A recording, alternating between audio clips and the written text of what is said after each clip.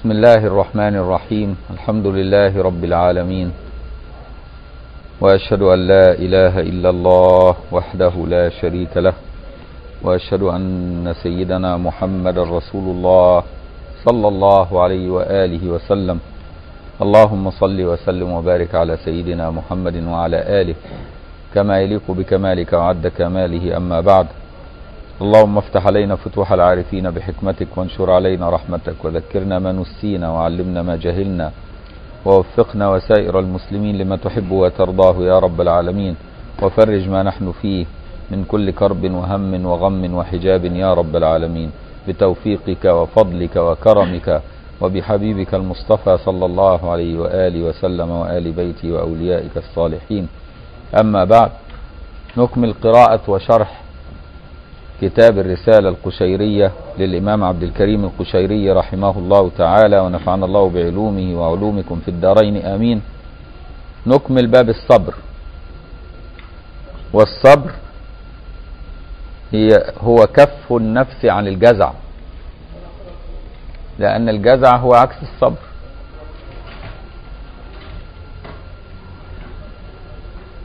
وسبب الصبر هو شهود الحق وشهود أفعاله أنك تشهد بمعنى تعلم أن الفاعل هو الله. فإذا كان الفاعل هو الله لمن تشتكي؟ فلا يليق. ثانيا تيقن أجر الصابر. إنما يوفى الصابرون أجرهم بغير حساب. ثالثا العلم بأن الجزع لا يجدي. لا يجدي الجزع. كم من جازع جزعه لم يدفع عنه ضره. يبقى تشهد الحق فعل الحق تتيقن من ثواب أجر الصابرين وتعلم أنه لا منفعة من الجزع. هذه هي أسباب تحصيل الصبر إن أردت أن تحصله في نفسك عند أي أمر من الأمور. يقول سمعت الأستاذ أبا علي الدقاق رحمه الله يقول وأبو علي الدقاق ده الشيخ المباشر للسيد عبد الكريم القشيري المصنف. يقول فاز الصابرون بعز الدارين هي الدنيا والآخرة لأنهم نالوا من الله تعالى معيته. قال الله تعالى إن الله مع الصابرين. مع الصابرين إن كان هناك معية لله سبحانه وتعالى فمعيته تكون شاملة في حال الدنيا وفي الآخرة. مع الصابرين بتوفيقهم في الدنيا ومع الصابرين بتنعيمهم في الآخرة. فهو مع الصابرين على كل حال. وقيل في معنى قوله تعالى اصبروا وصابروا ورابطوا الصبر دون المصابرة والمصابرة دون المرابطة. كأن الآية تأمرك بالصبر أولا ثم المصابرة ثم أن تكون صابرا. على ما أنت عليه من صبر أي مواظبا عليه مديما عليه ومرابطا على ذلك أي لا تنتقل وقيل اصبروا بنفوسكم على طاعة الله وصابروا بقلوبكم على البلوى في الله ورابطوا بأسراركم على الشوق إلى الله. كأن الصبر للنفوس لأن النفوس لها شهوة ولها رغبة فيأتي الأقدار على خلاف شهوتها ورغبتها فتحتاج أن تصبر على اصبروا بالنفوس على طاعة الله. والمصابرة تكون بالقلوب على البلوى في الله لتقلبها. ورابطوا بأسراركم على الشوق إلى الله لأن الأسرار هي محل الشوق إلى الله حيث تريد أن تعود إلى ما كانت عليه من كامل عهدها الأول من كمال المعرفة. لأن الأسرار هي الروح بعد نقائها من كل تعلقات البدن. وقيل اصبروا في الله وصابروا بالله ورابطوا مع الله. اصبروا في الله أي في البلاء. وصابروا بالله أي مستعينا بالله عن المعصية. ورابطوا مع الله أي على الطاعة. يبقى اصبروا في الله أي في حال المعص في حال البلاء. وصابروا بالله أي اصبروا في الله أي في أمر الله إذا وقع فيك. اصبروا في الله أي في أمر الله إذا وقع فيك اللي هو البلاء. وصابروا بالله أي مستعينا بالله. أي على عن معصية الله. ورابطوا مع الله أي طاعة لله عز وجل. وقيل أوحى الله تعالى إلى داود عليه السلام تخلق بأخلاقي وإن من أخلاقي أنني أنا الصبور. وقيل تجرع الصبر تجرع الصبر. يعني يا أيها السالك تجرع الصبر فإن قتلك قتلك شهيدا وإن أحياك أحياك عزيزا. وقيل الصبر لله عناء والصبر بالله بقاء والصبر في الله بلاء والصبر مع الله وفاء والصبر عن الله جفاء. الصبر لله أي لأجل الله فيها نوع التكليف فهي عناء لأن التكليف هو تكليف ما فيه مشقة. فالصبر لله عناء لأنه فيه التكليف محل التكليف. والصبر بالله أي تصير صابرا بتوفيق الله. فإن كان مصحوبا بتوفيق الله فهذا هو البقاء. فالصبر بالله بالتبري من الحول والقوة. فالصبر بالله يكون في إياك نعبد. الصبر لله يكون في إياك نعبد. والصبر بالله يكون وإياك نستعين. والصبر في الله أي حال امتحان الله للوصول إلى مقام الرضا يكون بلاء. أي الصبر في قدر الله. حتى توصل النفس إلى مقام الرضا. والصبر مع الله وفاء أي مع عهد الله ومع طاعة الله ومع القيام بالأدب مع الله. وفاء وفاء للعهد الأول ألست بربكم؟ قال قالوا بلى فالكل قال بلى. فإذا صبرت مع الله تكون موفيا للعهد الأول. والصبر عن الله أي عن بعد الله أي على بعد الله. الصبر عن الله أي تاركا التقرب إلى الله. فهذا جفاء. فكل الصبر محمود إلا الصبر عن الله فهو مذموم. وأنشدوا والصبر عنك فمذموم عواقبه والصبر في سائر الأشياء محمود. يبقى الصبر لله وبالله وفي الله ومع الله الكل محمود. أما الصبر عن الله فمذموم وهو الصبر على الحجاب. وأنشدوا وكيف الصبر عمن حل مني بمنزلة اليمين من الشمال؟ إذا لعب الرجال بكل شيء رأيت الحب يلعب بالرجال. وهنا بيتكلم على الحب العشق الإلهي. وقيل الصبر على الطلب عنوان, عنوان الظفر. الصبر على الطلب عنوان الظفر والصبر في المحن علامة الفرج. الصبر على الطلب أي على السؤال من الله. طالبا رفع بلائه. عنوان الظفر لمراعاة حسن الأدب. لأن الإنسان يسأل الله وهو في البلاء. ويصبر على سؤال الله. عالما أن الله سبحانه وتعالى ضمن لك الإجابة على ما يريد لا على ما تريد.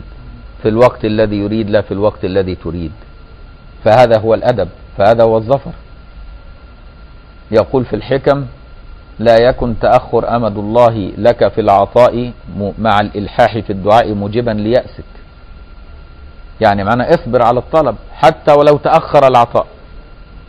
لأن الصبر على الطلب هنا هو ده صبر فيه النجاح والفلاح لأنه تراعي الأدب. لماذا؟ لأنه ضمن لك الإجابة. فيما يريد لا فيما تريد.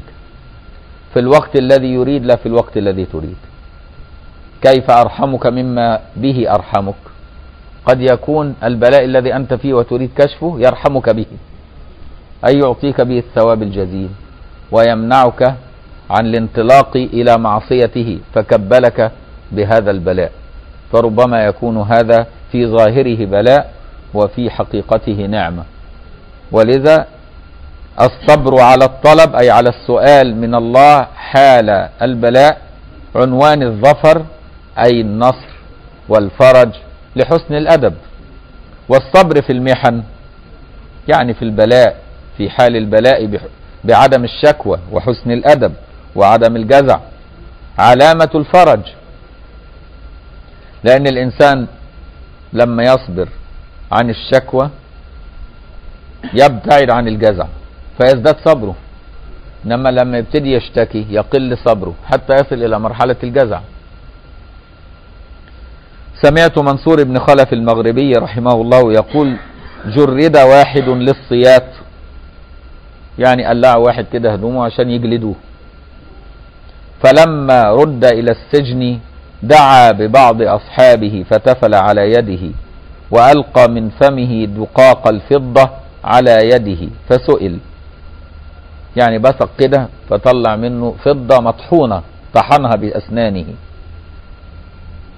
فسئل فقال كان في فمي درهمان وكان على حاشية الحلقة لي عين فلم أرد أن أصيح لرؤيته إياي فكنت أعض على الدرهمين فتكسرا في فمي.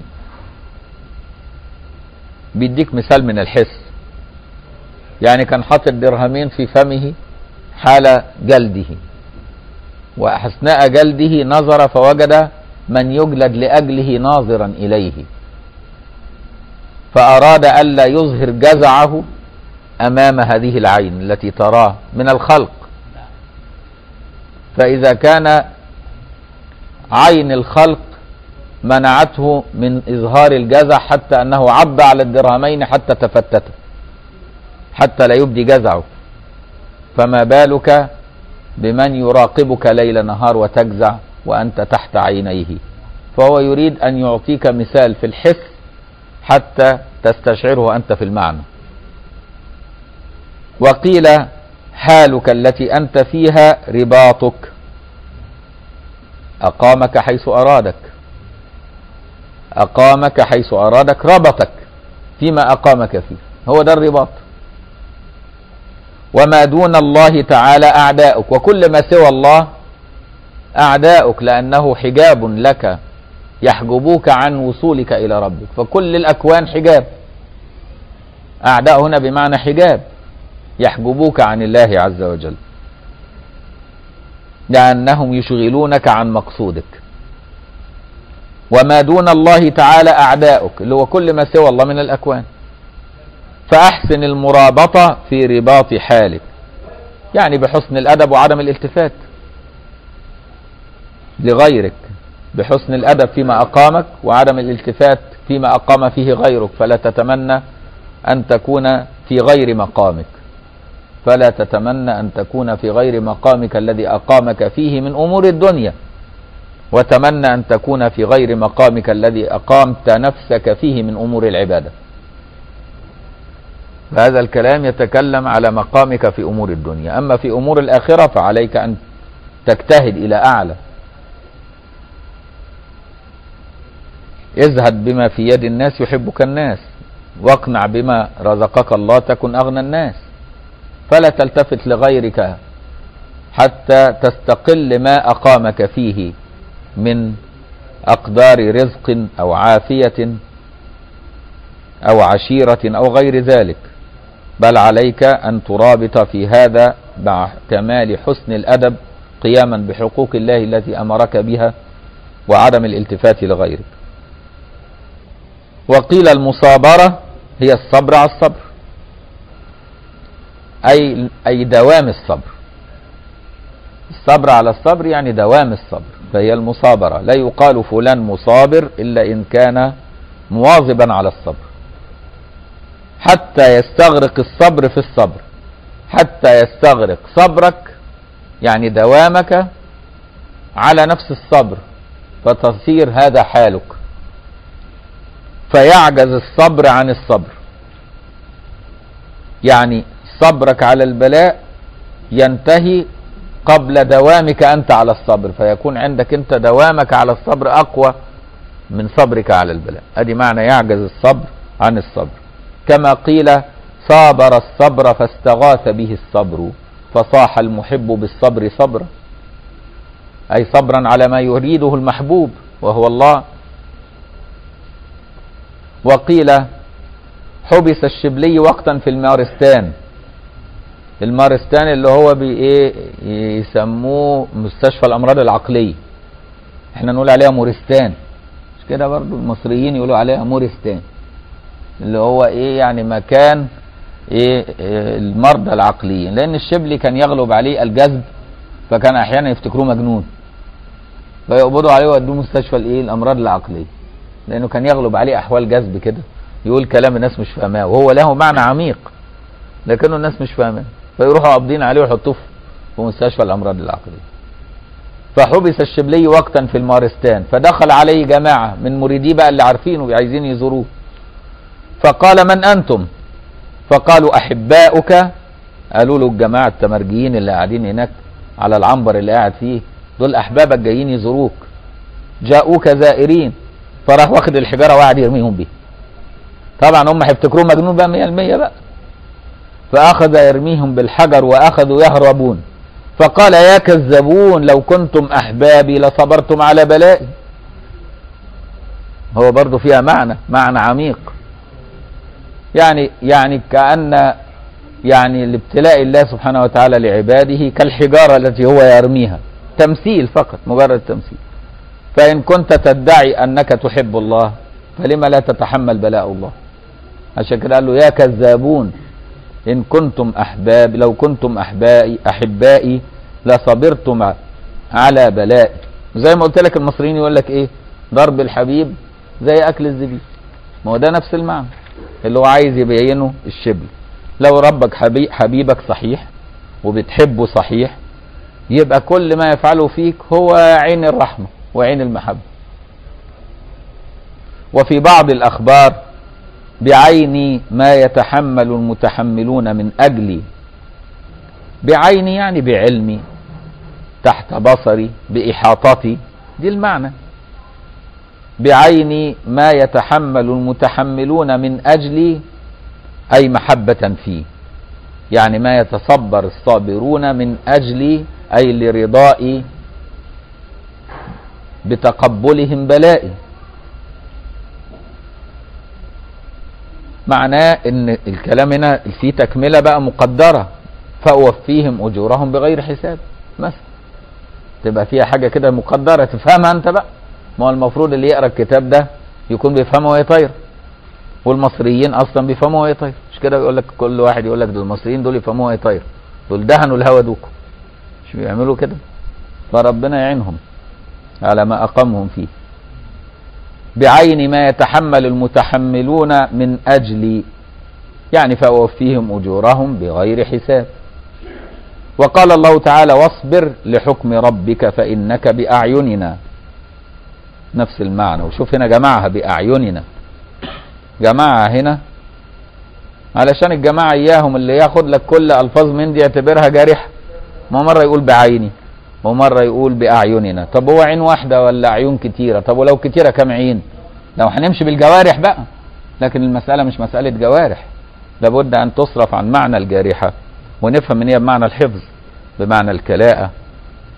كما فهمها كل علماء المسلمين على مر العصور لحد ما طلعوا الطائفة إياها اللي انت عارفهم. وبعدين تعبوا الناس وتعبوا أنفسهم بأعين ليه جمعها يعني يبين هنا كمال حفظه مع كمال إحاطته من جميع الجوانب. فيجمع الأعين عشان يبين كمال الحفظ من جميع الجوانب من جهات متعددة. فربك بكل شيء محيط. فهو من باطنه ومن ظاهره وعن يمينه وعن شماله ومن أمامه ومن خلفه ومن قبله ومن بعد محيط به يعلم أحواله ويوفقه فيه. آدي معنى بأعين. فالجمع هنا لبيان شمول إحاطته سبحانه وتعالى بتوفيقه لعبده. وقال بعضهم كنت بمكة فرأيت فقيرا طاف بالبيت وأخرج من جيبه رقعة ونظر فيها ومر. فلما كان بالغد فعل مثل ذلك. طاف برضه بالبيت وبعدين في إيده رقعة كده مكتوب عليه حاجة يبص لها كده ويحطها في جيبه ويمشي. فترقبته أياما وهو يفعل مثل ذلك. فيوما من الأيام طاف ونظر في الرقعة وتباعد قليلا وسقط ميتا. فأخرجت الرقعة من جيبي فإذا فيها واصبر لحكم ربك فإنك بأعيننا. يعني مات شوقا. يبقى مات شوقا لله عز وجل. لم يتحمل لذيذ الخطاب. وقيل رؤيا حدث يضرب وجه شيخ بنعله.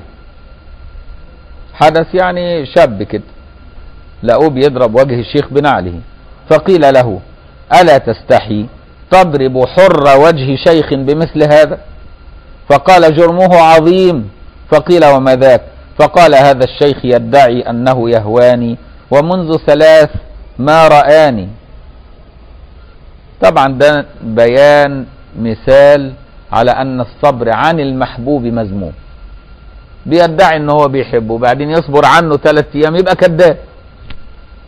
فهمت المعنى؟ فهو بيبين لك هنا بمعنى حسي أن الصبر عن المحبوب مذموم لأنه يقتضي اللوم. وقال بعضهم دخلت بلاد الهند فرأيت رجلا بفرد عين يسمى فلانا الصبور. فسألت عن حاله. فقيل هذا في عنفوان شبابه سافر صديق له. لقى راجل بعين واحدة يعني فرد عين يعني بعين واحدة مفتوحة والتانية مغمضة. ومسمينه الصبور.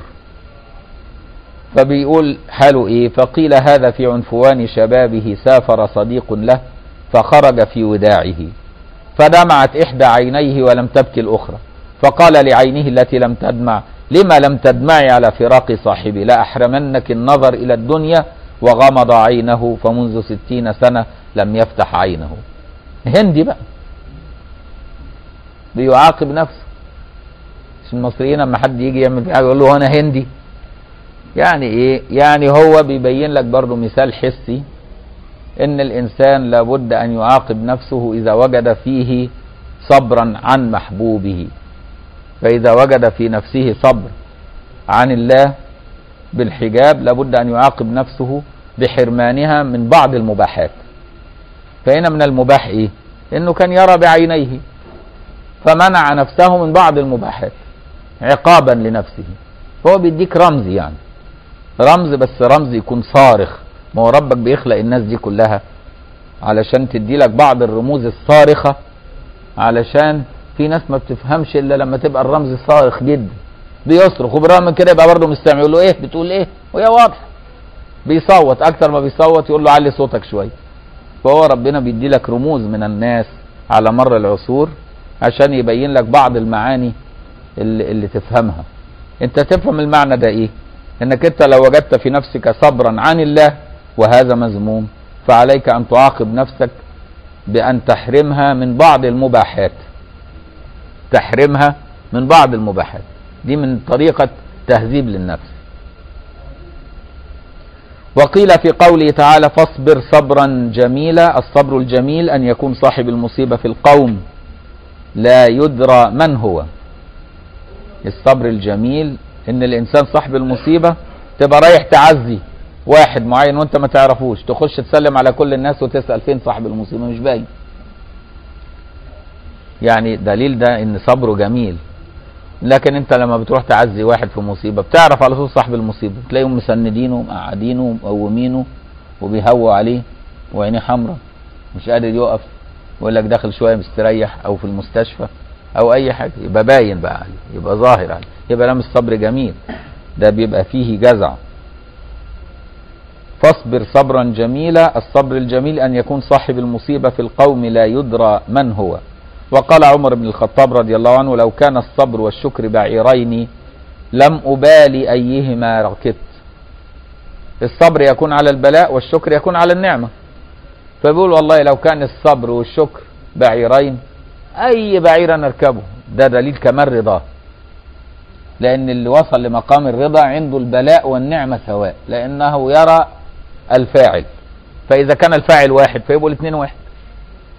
يبقى البلاء والنعمة حاجة واحدة. ليه؟ لأنه نظر للمصدر. هي دي هي دي وحدة الوجود عند الصوفية اللي يتكلموا عليه أنهم ينظروا أن الأفعال متعددة والفاعل واحد فلا يرى في الأكوان إلا واحد.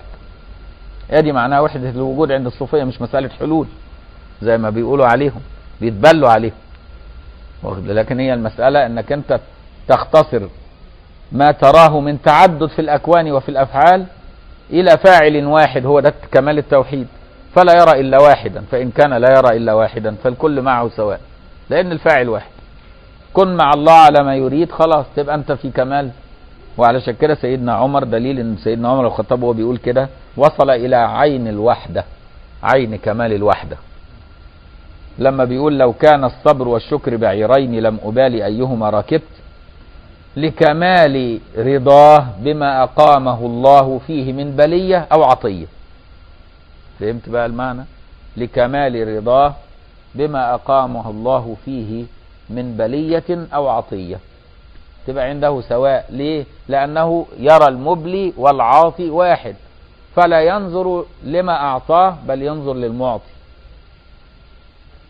وكان ابن شبرمة رحمه الله إذا نزل به بلاء قال سحابة ثم تنقشع. أي ما يجي عليك بلاء؟ ها أنا فاضل لي صفحة واحدة وأنصرف على طول. حاضر وكان أنت السبب يا أحمد كنا هنمشي. لا يزعل مننا شو. عارف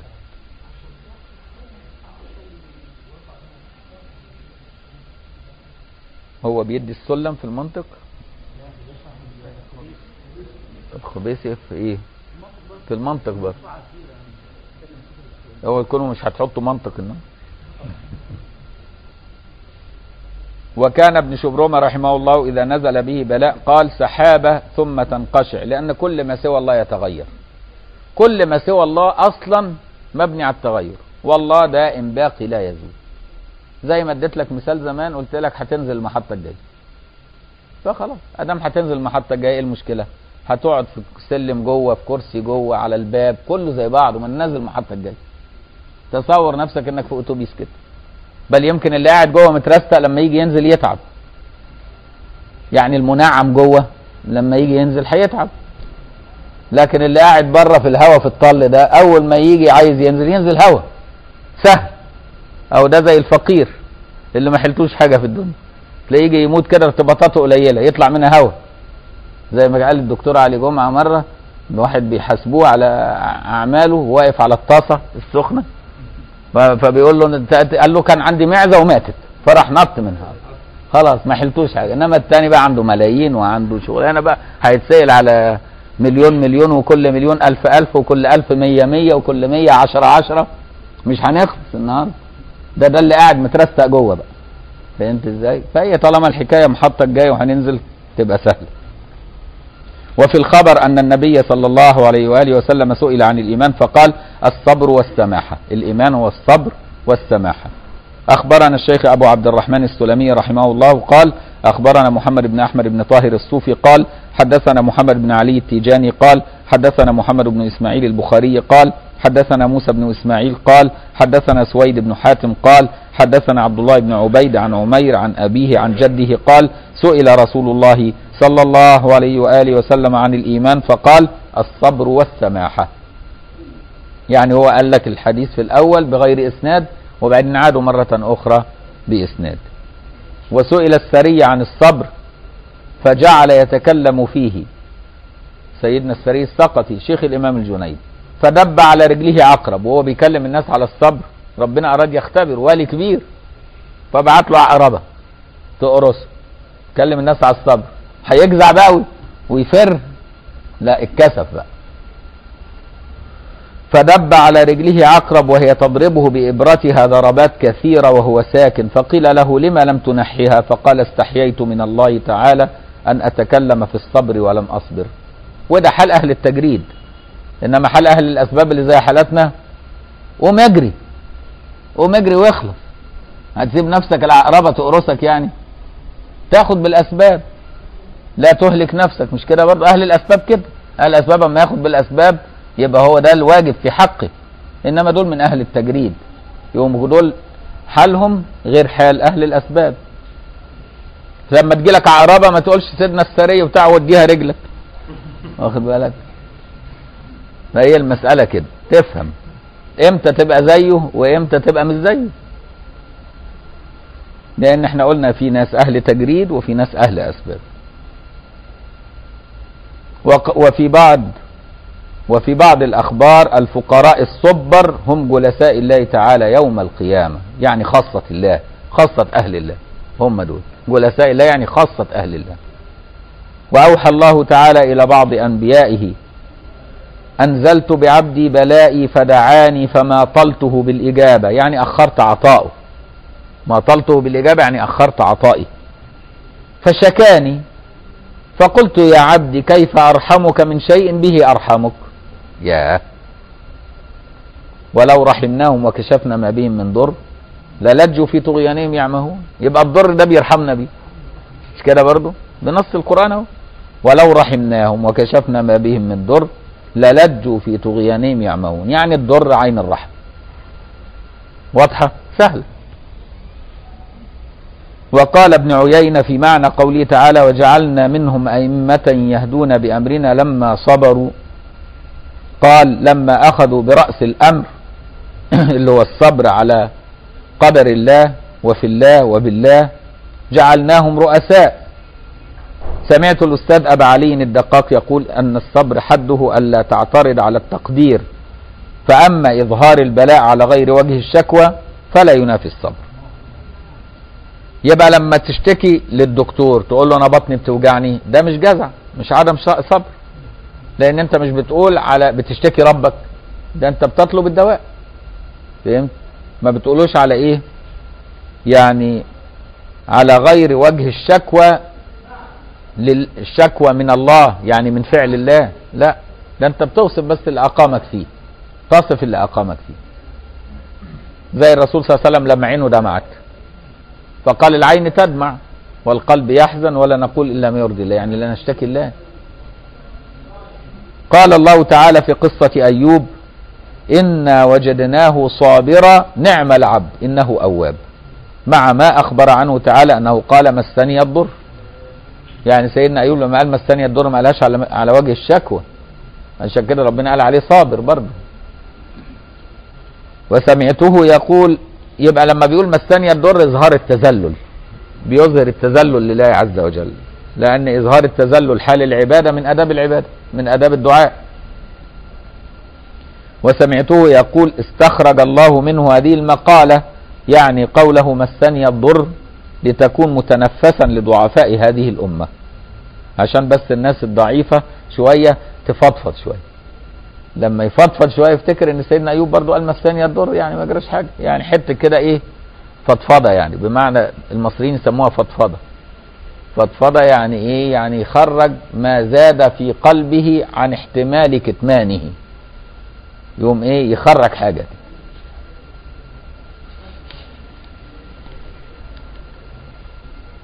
وقال بعضهم إنا وجدناه صابرا ولم يقل صبورا.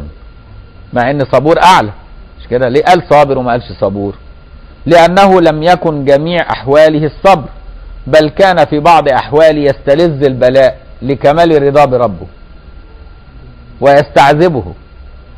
فلم يكن في حال الاستلذاذ بالبلاء صابر.